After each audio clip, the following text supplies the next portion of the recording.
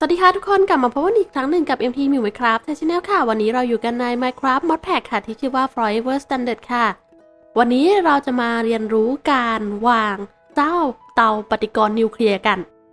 เตาปฏิกรณ์นิวเคลียร์ค่ะ ต้องใช้อะไรบ้าง แบบพื้นฐานเลยนะ อย่างแรกค่ะ เราจะต้องมีเจ้า Reactor Casing อ่าแล้วก็ Reactor Controller ค่ะ แล้วก็ Reactor Control Rod แล้วก็ Fuel Rod ค่ะ ตามด้วยอันนี้เป็นกระจกเพื่อการตกแต่งค่ะ หมายความว่ากระจกกับ reactor casing เนี่ยค่อนข้างที่จะใช้งานเหมือนกัน แต่บางตำแหน่งค่ะ เขาจะบังคับว่าห้ามเราวางกระจกอะไรอย่างนี้เนาะแล้วก็ reactor redstone f l u ค่ะก็คือเป็นแบบจุดในการนำพลังงาน RF ออกนั่นเอง แล้วก็มี access port อ่าก็คือจุดที่นำพวกแร่พวกอะไรอย่างนี้ค่ะ เข้ามายังเตาปฏิกรณ์เพื่อที่จะปั่นเป็นพลังงานนั่นเอง โอเค แบบพื้นฐานสุดคือ3คูณ3แบบนี้ค่ะ นี่ จากนั้นค่ะให้เราวาง reactor controller ค่ะ ด้านใดด้านหนึ่งเนาะ และจากนั้นก็วางเจ้าตัวนี้ อะ ตามด้วย access port อะ ตรงกันข้ามเลยก็คือนำเข้าทางนี้ จากนั้นพลังงานที่ได้ค่ะก็จะออกตรงนี้นั่นเอง เสร็จแล้ว และตรงกลางนี้ค่ะ ให้เราวางเป็น reactor fuel rod อะ ก็คือเป็นแบบ แกนกลางของเจ้าเครื่องปรมาณูนี้นั่นเอง แล้วก็ปิดให้เรียบร้อยค่ะ ส่วนด้านบนสุดนี้ให้เราวางเป็นเจ้า control rod อะและจากนั้นก็ปิดเลยค่ะเสร็จนี่เห็นไหมพอเสร็จค่ะมันก็จะเปลี่ยนหน้าตาเนาะก็คือตอนที่เรายังสร้างไม่เสร็จค่ะเนี่ย มันหน้าตาเป็นบล็อกธรรมดาแบบนี้ แต่พอสร้างเสร็จปุ๊บนี่ ก็จะเป็นแบบนี้ค่ะ ทีนี้แร่ที่เขาแนะนำค่ะในการที่เอามาผลิตเป็นพลังงาน IF ก็คือแร่ที่ชื่อว่าเยลโรเรียมค่ะ แร่ตัวนี้นั่นเอง วิธีการทำงานง่ายมากค่ะ ไปที่ access port ค่ะ วางแร่ไป เอาแค่นิดเดียวพอ เพราะว่าเรา โอเค มันกินไปแล้ว จากนั้นมาที่เจ้า controller ค่ะ สิ่งที่เราต้องทำกดตรงนี้ค่ะ activate reactor ปุ๊บ สิ่งที่เกิดขึ้นก็คือ ตอนนี้ค่ะ casing heat ก็คือกรอบภายด้านนอกอะ่ะมันเริ่มร้อนมากๆแล้ว ส่วนเจ้าคอค่ะก็เริ่มร้อนแล้วพอเริ่มร้อนสิ่งที่เกิดขึ้นก็คือนี่ เราได้พลังงาน RF 476 RF ต่อทิกเนี่ยค่ะพลังงานก็จะถูกเก็บไว้ในนี้ แน่นอนความจุอยู่ที่ประมาณ 10 ล้านเนาะก็เรื่อยๆค่ะ ถามว่าแบบนี้เป็นเตาปฏิกรณ์นิวเคลียร์ที่ดีไหมก็เป็นเตาปฏิกรณ์นิวเคลียร์แบบพื้นฐานเลยค่ะ แต่ว่าไม่ใช่เตาปฏิกรณ์นิวเคลียร์ที่ดีเท่าไหร่ เพราะว่าเราไม่ได้มีของเหลวมาเพื่อระบายความร้อนนั่นเอง อะ ก็คือไม่มีของเหลวมาหล่อเย็นที่คอค่ะทำให้แกนกลางของคอเราค่อนข้างที่จะร้อน แล้วก็พลังงานที่ผลิตออกมาค่ะ ก็ได้ไม่เยอะเท่าไหร่ สิ่งที่เราได้เราได้อะไรบ้าง มันมีค่าอะไรที่เราต้องดูค่ะ ก็คืออย่างแรกอะ องศาอยู่ที่ 867 องศา แน่นอนค่ะ องศาสามารถเพิ่มขึ้นเป็นพันสองพันสามพันได้เลย แต่ถ้าร้อนมากเกินไปค่ะ มันก็ไม่ดีเท่าไหร่ใช่ไหม แล้วก็นี่ค่ะ พลังงาน IF ก็โดยตอนนี้ค่ะ เป็นเตาปฏิกรณ์นิวเคลียร์แบบขนาดเล็กเนาะพื้นฐานแบบ3คูณ3ก็ได้ประมาณ 400 RF แล้วตรงนี้คืออะไร ตรงนี้คือแร่ค่ะที่ถูกกินในทุกๆทิกนั่นเอง ก็คือนี่ค่ะในทุกทิกก็จะกินแร่ประมาณ 0.027 นั่นหมายความว่าแร่หนึ่งก้อนค่ะ มันก็จะใช้เวลาที่กินนานพอสมควรอะแล้วระหว่างที่มันกินนี้ค่ะ เราก็จะได้พลังงาน RF เรื่อยๆ ส่วนตรงนี้คืออะไรตรงนี้ค่ะถ้าเรียกง่าย ๆ ก็คือ พลังงานที่ได้กับการกินแร่ค่ะ ผสมกันก็คือพูดง่ายๆว่าเป็นเรื่องของประสิทธิภาพนั่นเอง ถ้ากินแร่น้อยลงเราได้พลังงานมากขึ้น หรือว่ากินแร่เท่าเดิมค่ะ เราได้พลังงานมากขึ้นเนี่ย ก็คือจะมีประสิทธิภาพมากขึ้นนั่นเองส่วนตรงนี้คืออะไรก็เนี่ยเปิดปิดเครื่องอ่าเป็นการเปิดปิดเครื่องนั่นเอง ง่ายมาก ตัวตรงนี้คืออะไรตรงนี้ก็คือกากแร่ค่ะหรือว่าเจ้าพวกยูเรียมที่เราใช้แล้วอะเราจะให้เอาออกแบบอัตโนมัติ หรือว่า แบบไม่ต้องเอาออกแบบอัตโนมัติค่ะ ก็คือสามารถปรับได้ว่าเป็นระบบออโต้หรือว่าแมนนวลนั่นเอง ก็นี่ค่ะกำลังเผาไปเรื่อยๆ กากแร่ที่เราได้ค่ะ ก็จะมาโผล่อยู่ในช่องนี้ เพราะว่าเราเลือกว่าให้มันแบบเอาออกอัตโนมัติมาเนาะอ่าทีนี้มีอะไรอีกบ้างที่เราต้องรู้ค่ะ นอกจากตรงนี้ ก็คือฝั่งตรงนี้ค่ะก็เป็นตัวที่ไว้เอาพลังงานออกนั่นเอง เอาง่ายก็คือสมมุติถ้าเราวางเจ้าเบสิ c ค a ป a ซิเตอร์แบงค์ตรงนี้ค่ะจึ๊บนี่เห็นไหมพลังงานจะเริ่มถ่ายโอนมาเรื่อยๆค่ะ หรือถ้าเราวาง Basic Capacitor Bank ตรงนี้ แล้วเราวาง Energy Conduit ค่ะปึ๊บแบบนี้ แล้วก็ปรับเป็นนำออกเท่านั้น ตรงนี้ค่ะ ก็ปรับเป็นนำเข้าเท่านั้น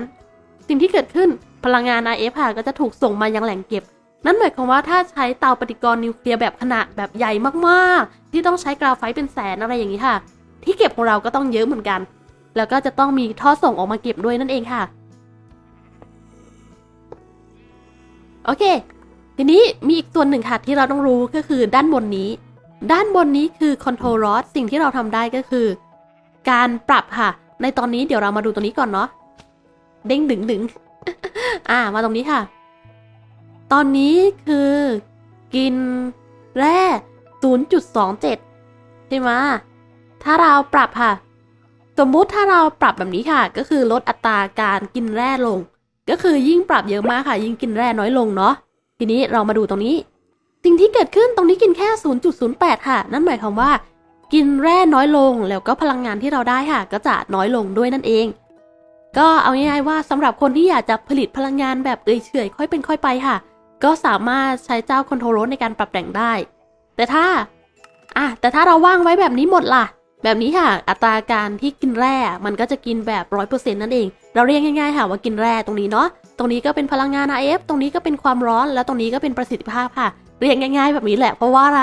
เพราะว่าไปอ่านข้อมูลมาแล้วค่ะเรื่องเกี่ยวกับโรงไฟฟ้านิวเคลียร์เป็นอะไรที่มึนตึบมากๆซับซ้อนมากๆถึงแม้จะมีข้อมูลเยอะมากค่ะ แบบข้อมูลสมัยมัธยมอะไรอย่างเงี้ยที่แบบเป็นความรู้อะไรอย่างงี้ใช่ไหมบอกเลยว่าเป็นอะไรที่มึนตึบมากๆ โอ้โห โอเคค่ะ ก็ถือว่าเป็นเตาปฏิกรณ์นิวเคลียร์แบบพื้นฐาน ถามว่าเราจะทำแบบนี้ไหมคำตอบคือไม่ค่ะ เราไม่ทำแบบนี้ เอาออกมาเลย เราจะรื้อค่ะ เพราะว่ามันไม่มีบล็อกในการแบบทำความเย็นใช่ไหมสิ่งที่เกิดขึ้นก็คือ มันไม่ค่อยมีประสิทธิภาพ ดังนั้นค่ะ เราจะต้องปรับนิดนึงอะขุดออกเลยค่ะเตาปฏิกรณ์นิวเคลียร์แบบที่มีประสิทธิภาพขึ้นมาค่ะ ให้วางเป็นพื้นที่5คูณ5นี่มัน 6 แล้ว เอาออกนึง วางเป็นพื้นที่5คูณ5เลย4 5ค่ะ นี่5คูณ5แบบนี้ แล้วก็วางฟูเอลรอดค่ะ ตรงกลาง 2 อัน แล้วก็วางขึ้นมา ด้านบนฟูเอลรอดนี่ค่ะ ให้เราวางสิ่งหนึ่งเลยก็คือเจ้าคอนโทรลรอดนั่นเอง วางไปแล้ว ตรงข้างบนโอ้โห โดดไม่ขึ้นค่ะ ไม่เป็นไร แบบนี้ก็ได้ แล้วก็วางปิดค่ะ เป็นโครงแบบนี้ก่อน เนี่ยแหละใช้ได้แล้ว พื้นที่5คูณ5ค่ะนั่นหมายความว่าตรงกลางจะมีพื้นที่ประมาณ 3 ช่องนั่นเอง ปิดเลย นี่ค่ะ แบบนี้ อะ เรียบร้อยเมื่อได้เป็นแบบนี้ใช่ไหมตรงนี้ค่ะให้เราวางเป็น controller แน่นอนค่ะว่า controller กับเจ้าพวก redstone port อะไรอย่างเงี้ยแล้วก็พวก access port นี่ค่ะ มันไม่มีจุดบังคับในการวางที่แน่นอน ก็คือขอแค่หาตำแหน่งดีๆแล้ววางได้ค่ะ แค่นั้นก็น่าจะเพียงพอแล้ว เพราะว่าจะสังเกตค่ะว่ามันมีหลายรูปแบบมาก บางคนอาจจะวางตรงนี้ บางคนอาจจะวางตรงนั้นค่ะ แล้วแต่เลย ก็วางตรงนี้แล้วกัน อ่า controller ค่ะ แล้วก็นำออกพลังงานไฟฟ้าวางข้างๆนำเข้าก็วางทางนี้แล้วกัน เอาแบบใกล้ ๆ กันเลยเนาะ ก็ได้เป็นแบบนี้ค่ะ เหมือนจะเรียบร้อยแล้วใช่ไหมถ้าอย่างนั้นค่ะ ให้เรามาปิดเลยแล้วกัน ลองปิดด้วยกระจกดูเพื่อความสวยงาม แล้วก็ตรงนี้ค่ะ วางเป็นบล็อก อะ ตรงนี้วางเป็นกระจก เพราะว่ากระจกเราไม่ได้มีเยอะขนาดนั้นใช่ไหมถ้าเราวางเป็นกระจกทั้งหมดก็อาจจะไม่พอนั่นเอง ก็เลยวางเป็นแค่กระจกตรงคอตรงกลางแล้วเพียงพอแล้วฮึบเราขาดอะไรเอ่ย ข้างบนนี้ค่ะ เราขาดบล็อกที่จะนำมาวางเนาะ ดังนั้นเราไปคราฟมาเพิ่มก่อน ตอนแรกนึกว่าจะพอแล้วดันไม่พอ ก็มาเลยแล้วกัน นี่ค่ะ อีกจำนวนหนึ่งนิดนึง แล้วก็คราฟเป็นบล็อก อ่าได้มาอีก 16 ค่ะ เพียงพอแน่นอน เดี๋ยวเราลองมาดูนะ ตรงนี้ค่ะขุดออกก่อนแล้วก็วางบล็อกปิดค่ะ ตรงตำแหน่งเจ้านี้เลย Control Rod ข้างบนนี้ไม่เกี่ยว อะ ปิดเรียบร้อยค่ะ แล้วก็ตรงนี้วางปิดปุ๊บแบบนี้ อ่า เห็นว่า คือถ้ามันเปลี่ยนสีแบบนี้ค่ะ แล้วก็มีรูปร่างหน้าตาที่เปลี่ยนไปก็แปลว่าระบบที่เราวางตรงนี้สามารถใช้การได้นั่นเอง ก็ได้แล้วใช่ไหมแต่ทีนี้เราลองมาเดินเครื่องดูค่ะ วางแร่ลงไปโอ้โห เกิดเป็นสีเหลืองข้างในอะ ทันทีเห็นว่าถ้าเรามองจากด้านข้างนี้ค่ะ ก็จะสวยงามแบบนี้นั่นเอง แล้วเราลองเดินเครื่องดูนะ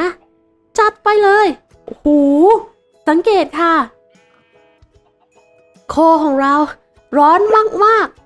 แล้วก็นี่พลังงานไอค่ะตอนแรกเราผลิตได้ที่ประมาณ 400 เนาะ ตอนนี้ค่ะขึ้นไป 600 เลย ประมาณ 660 อะหกร้อยจะเจ็ดสิบไหมนี่ค่ะอยู่ที่ประมาณหกร้อยหกสิบแต่สิ่งที่เกิดขึ้นก็คือคอของเราค่ะ ร้อนมากๆนั่นเอง ดังนั้นสิ่งที่เราต้องทำเราจะต้องมีตัวระบายความร้อนค่ะ แน่นอนว่าตัวระบายความร้อนที่ดีที่สุด คือของเหลวค่ะที่ชื่อว่า gelid cryotheum เราไปหาข้อมูลมาแล้ว แต่ ในเมื่อสำหรับผู้เล่นเริ่มต้นอย่างเราอะไรอย่างนี้ใช่ไหมคะ น่าจะหาเจ้า gelid cryotheum ไม่ได้หรอก มันก็มีเจ้าพวกของอย่างอื่นที่สามารถนำมาระบายความร้อนได้เหมือนกัน แล้วมีอะไรบ้างล่ะ ก็อาจจะเป็นพวกบล็อกค่ะ เช่น เป็นบล็อก electrum บล็อก diamond บล็อก emeraldหรือแม้แต่เป็นของเหลวอย่างเช่นเอเนเรียมอะไรอย่างนี้ค่ะ ก็สามารถนำมาใช้ได้เหมือนกัน แน่นอนว่าต้องไปหาข้อมูลเพิ่มเติมจาก FTB ค่ะ เพราะว่ามันมีของที่สามารถเอามาระบายความร้อนได้แบบประมาณ 20 อย่าง ซึ่งเราก็ไม่สามารถพูดในที่นี้ได้หมดเนาะโอเค ซึ่งในที่นี้ค่ะ เราเลือกเป็นเจ้า Emerald Box ก็จัดเลยวางแบบนี้ค่ะ แน่นอนว่าจะวางน้อยๆ แบบแค่ตำแหน่งตรงนี้ก็ได้เนี่ยค่ะก็คือวางแค่สี่ทิศแบบนี้ก็ได้เหมือนกัน แต่ไม่เป็นไรเรามี Emerald Box อยู่ เราก็น่าจะวางให้เต็มแล้วกันเนาะอะวางมาเลยค่ะ นี่ ตรงนี้ด้วย เอาให้เต็มไปเลยสองก้อนสุดท้ายคำนวณมาเป๊ะเรียบร้อย แล้วก็วางนี่ค่ะ ปิดคืนอ่าทีนี้เรามาลองดูกันค่ะเมื่อกี้ได้ไปทำการหาข้อมูลเพิ่มอีกนิดหนึ่งเพราะว่ามีบางส่วนที่เราสงสัยเนาะอะ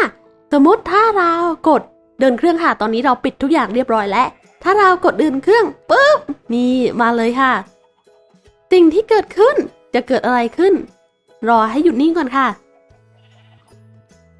นี่ไงความร้อนของคอของเราค่ะ น้อยลง แต่ความร้อนของเคสซิ่งค่ะ มากขึ้นนั่นเอง ความร้อนของคอคืออะไร เขาบอกว่า ยิ่งคอของเราค่ะ ร้อนมากเท่าไหร่ เราก็จะกินแร่มากขึ้นเท่านั้น ซึ่งมันเป็นอะไรที่ไม่ดี แต่ตรงนี้ค่ะเคสซิ่งฮีทยิ่งเปลือกนอกของเราค่ะ ร้อนเท่าไหร่ พลังงานยิ่งผลิตได้มากขึ้นค่ะ แล้วสามารถนำออกได้มากขึ้นนั่นเองทำให้ตอนนี้ค่ะ IF ของเราเนี่ย ได้ถึง 1,400 RF ต่อทิศโอ้โห เป็นอะไรที่ดีมากใช่ไหมตอนแรกค่ะ คอร้อนมาก ได้ RF น้อย ตอนนี้ค่ะ ได้ RF มาก คอร้อนน้อยลง โอ้โห นี่มันสุดๆค่ะ แบบนี้ก็คือเป็นแบบที่ดูดีขึ้นมาหน่อย ซึ่งแบบนี้ค่ะจะดีกว่าแบบแรกนั่นเอง แน่นอนว่าถ้าพูดถึงพลังงานในการผลิตนั้น ตรงนี้แล้วกัน วางตรงนี้ค่ะ และจากนั้นเชื่อมต่อแหล่งเก็บพลังงานด้วย Energy Conduit มา แล้วก็ปรับนำเข้าเท่านั้น ก็ไม่ต้องคิด มาเรื่อยๆ แต่เนื่องจากตัวนี้ค่ะ มันถ่ายเทได้ทีละ 640 เนาะก็หมายความว่าพลังงานค่ะที่เก็บอยู่ในเครื่องนี้เนี่ย มันค่อยๆออกมาทีละนิด ทีละนิด อยากจะบอกว่าตอนนี้ เต็มแล้ว 10 ล้าน RF ภายในเสี้ยววินาที เร็วมากๆค่ะ ดังนั้นก็